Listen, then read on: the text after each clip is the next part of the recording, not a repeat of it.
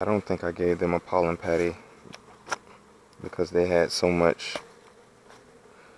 um, activity with bees coming back with pollen so I kind of left them alone. Didn't give them any help. I don't really I'm doing my best not to help them to try and force them to take care of themselves